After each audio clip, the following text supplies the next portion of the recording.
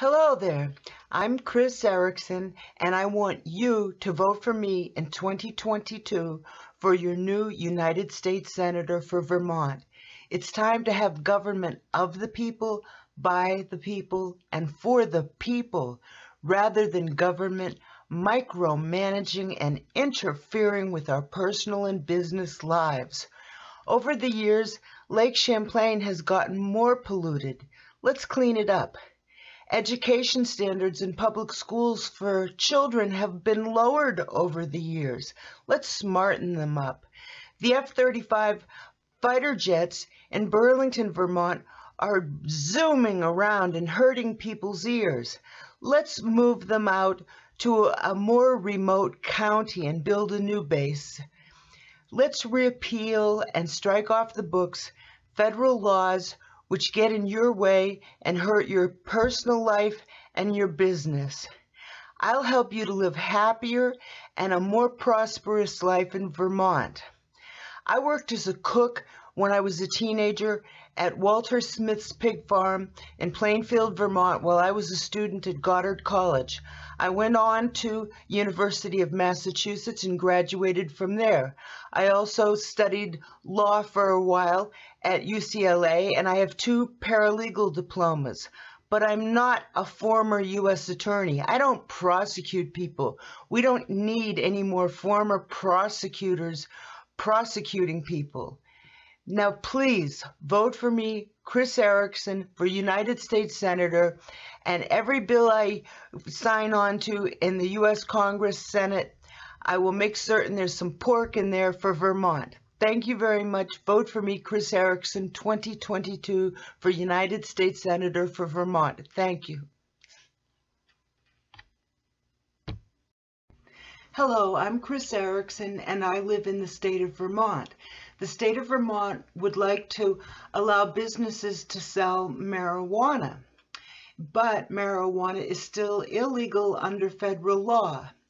Now, some of the problems I see with marijuana being illegal under federal law is that if you have a marijuana conviction and you apply for federally subsidized housing, in some states you can be turned down. If you have a marijuana conviction and you apply for food stamps in some states, you can be turned down. If you have a marijuana conviction in some states, if you apply for loans and grants for college so you can get a job, you could be turned down. So because marijuana is illegal under federal law, more people are homeless, malnourished, and unemployed or underemployed. Let's make marijuana legal under federal law. Vote for me, Cris Ericson, 2022. Thank you.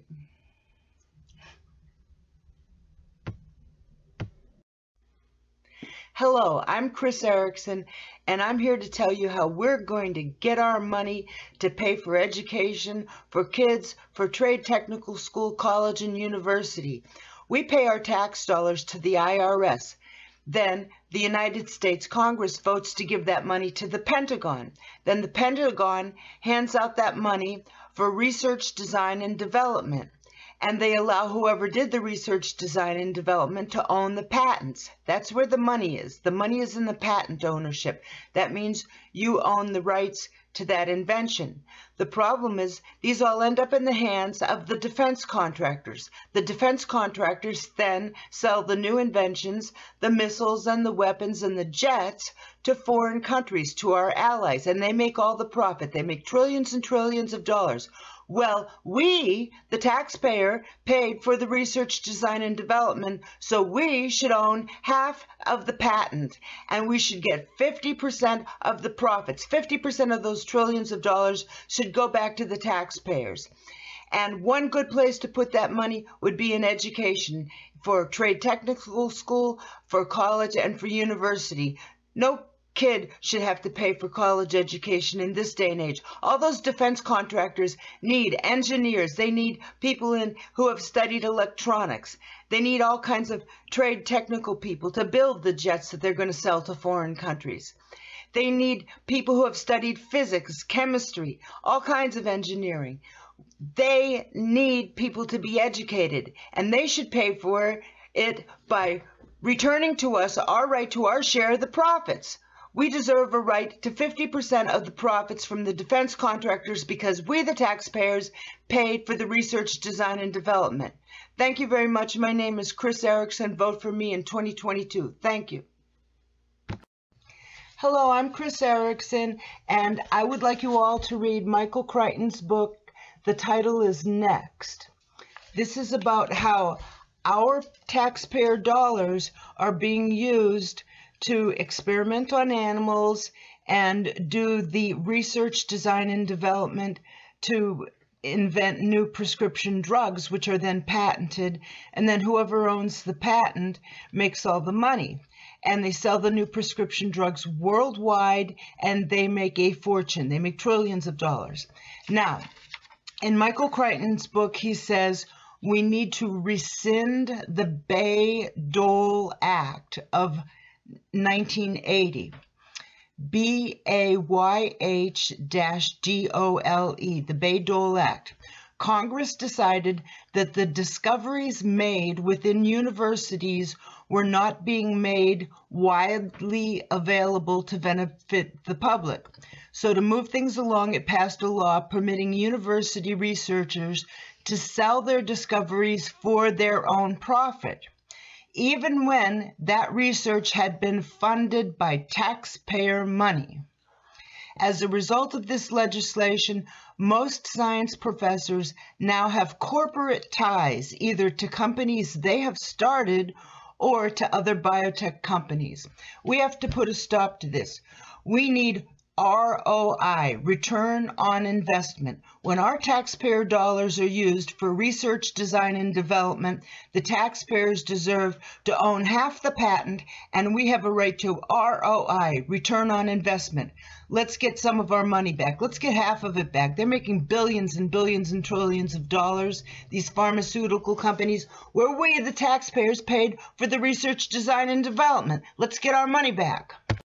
Hello, I'm Cris Ericson, and I'd like to explain to you how I feel that the defense contractors in the United States and the U.S. Congress, House, and Senate are committing money laundering, in my opinion. Now, you pay your tax dollars, they go to the IRS, and then the U.S. Congress votes to send them to the Pentagon. Then the Pentagon gives out your money for the benefit of the defense contractors. The defense contractors then give some of your money to their political action committees, who then deposit some of your money into the political campaign accounts of the incumbent elected officials currently serving in the U.S. Congress, House, and Senate. So I call that money laundering because your tax dollars have come full circle and have ended up in the political campaign war chests of the members of the United States Congress, House, and Senate. Let's run by that again. You pay your tax dollars, they go to the IRS. The U.S. Congress votes to send them to the Pentagon.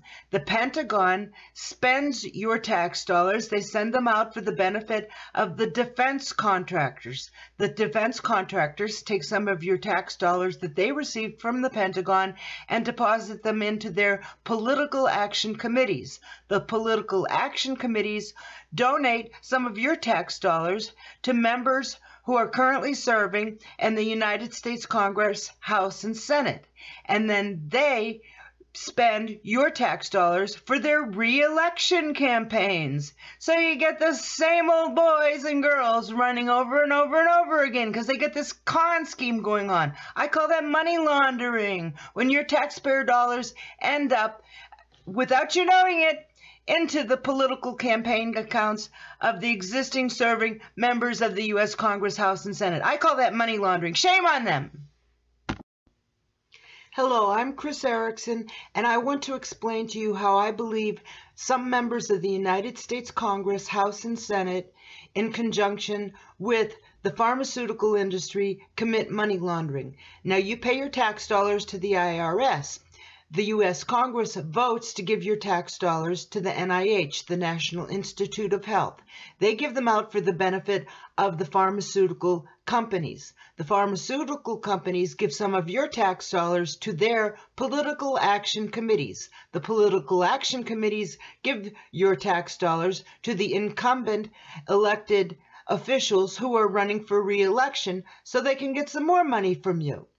This is money laundering, in my opinion. When your tax dollars go from you to the IRS and then the U.S. Congress votes to spend them by giving them to the NIH, the National Institute of Health, which gives them out for the benefit of the pharmaceutical industry, which gives some of your taxpayer dollars to political action committees, which gives that money to incumbent elected officials in the House and Senate of the United States Congress for their reelection campaigns your tax dollars have ended up in the pockets of the incumbent U.S. senators and members of the U.S. House of Representatives. I call that money laundering. Shame on them.